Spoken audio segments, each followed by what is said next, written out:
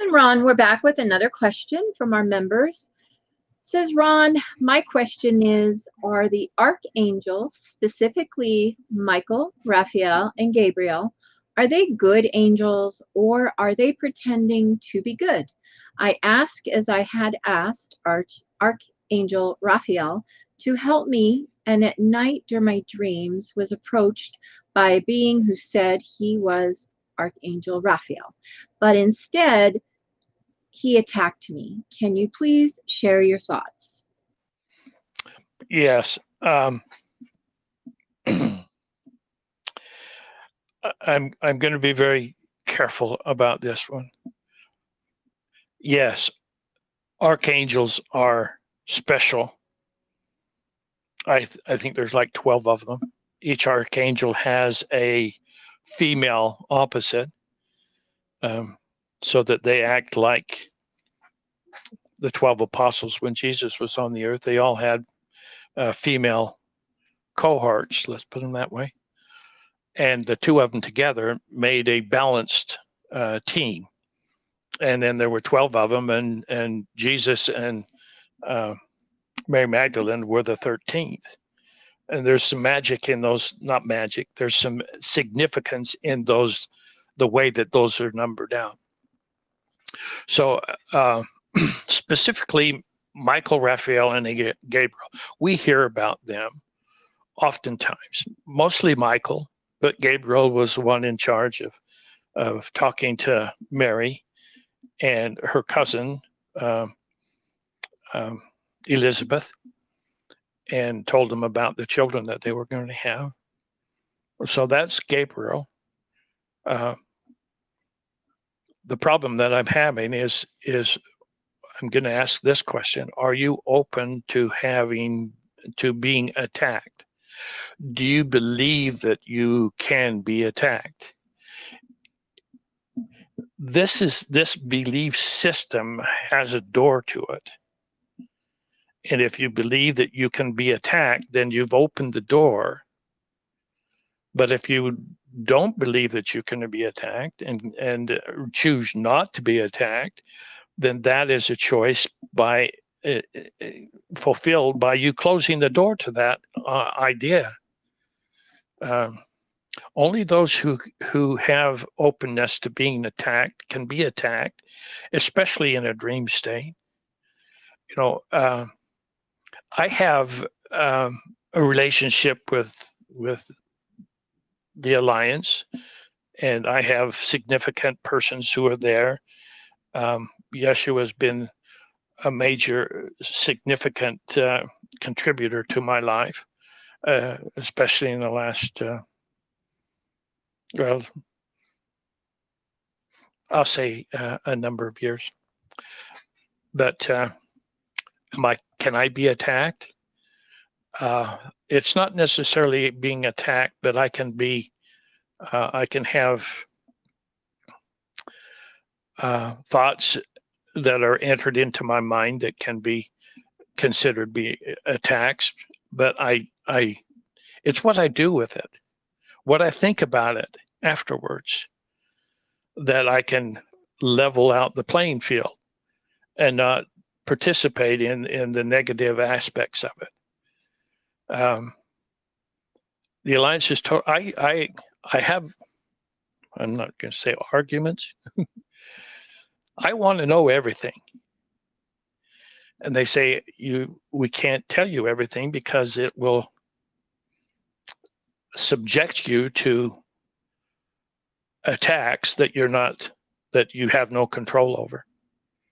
If we gave you the information then you have a target. You are a target and they will move in as quickly as they can to eliminate you. Now I'm protected to a great extent, but I can, I'm on earth. My feet get dirty. I'm not an angel. Um, those are the kinds of things that if you if your feet get dirty, then you're part of third dimension. If they don't get dirty, then you're something different. But the point that I'm trying to say is what you do with the thoughts in your mind are the things that will create what you think about or that that can happen to you. What is it that you focus on in, in your okay i'm talking to the person who asked this question. What is there in your mind that you are focusing on where you're allowing these things to take place and i'm saying well i and you're saying to me well i didn't do that. Well you did. You did or it wouldn't happen. You are the one who's in charge of your life. Now we don't realize that but there's a propensity that we have to focus on things that perhaps we shouldn't be focusing on. And so you got to go back into your own life. What you focus on is what you're going to create. If you're allowing yourself in your focusing attention that things of a negative nature can happen to you, then you're going to have the experience of those kinds of things happening to you. Why? Because the universe, the universe who's fulfilling your your um, asking it shall be given, seeking all is is only looks at what you focus on, and that's where they say they're saying they're observing you. Well, I I I didn't do that. Yes, you did. Well, how did how can you, you focused on it? You're focusing on things that bring these things out in your life. Now, were you when you were attacked? Is that a real bad experience for you? What do you think about that? What is it that you're focusing on when you think about that? Are you saying, well, that was just an experience?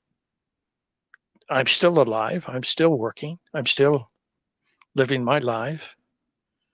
And so, what you think about that, then that's that's can you can cancel it out right now by just simply I, I was just there for my experience. I had the experience, and now I can move on. But if you have some judgment about it, well, I was attacked there's these angels or archangels and so forth are terrible.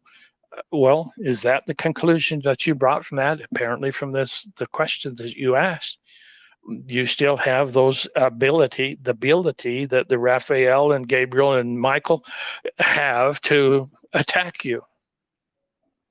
And see, I don't. Uh, I look at that and I uh, and I'm I'm not trying to find fault with you. I'm just simply saying we are the ones who create the experiences of our life.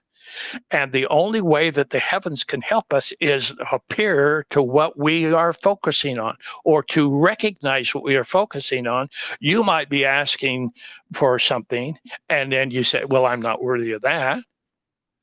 Well, that you just canceled your ask. And so it's important for you to start controlling your life and your thought patterns when something like this happens to you. It is not Michael, Raphael, or Gabriel, or anybody else. They're only responding to what you want in your life. Now, that's hard to say and it's hard to understand, but I hope you realize you're blaming somebody else for the lack of ability to control your life by what you focus on. There's a solution to the problem. Focus on things that are loving. Focus on thoughts of uh, um, being successful. What are we trying to do? We're trying to get rid of uh, of the cabal. How do you get rid of the cabal? Stop thinking about them quit listening or thinking about things in the past that have caused tra- trauma for you. Why do you think the cabal wants you to remember the Holocaust? Because you go back and you go through it again and you recreate the loosh. Loosh is the is a negative energy that they feed on. You're just recreating it. And how many thousands and millions of people create recreate recreate the negative experience of the Holocaust. Why do you think the cabal wants us to do that? Why do you think the public wants us to do that? The public, the the the cabal, the government, whatever it is, the cabal wants you to remember those things. so that you can recreate that same loosh for them and they just love it. They own the history. And when you think about all of the things in the past that are wrong and, and, and you focus on that, then they just feed on that. Quit create recreating stuff, the negative stuff in your life by thinking about things from the past that are traumatic.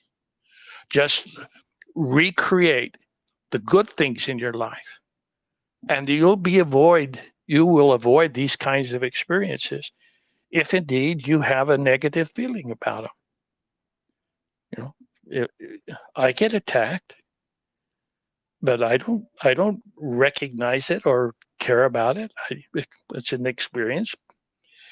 It's hard to go through yeah but it's just an experience. I'm fine. I can work through it. And uh, so understand that it's not Michael, Raphael, or Gabriel or any other archangel. It's your fault. And they are not to blame because you create the experiences of your life. So if you'll if you'll accept that, and it's very difficult to accept. I understand that. But if you don't accept it, you're going to recreate it again. Because you are the one that created those kinds of experiences. And there's going to be a lot of people who don't like me for saying that because it doesn't let Michael, Raphael, and Gabriel be the one in charge of your life.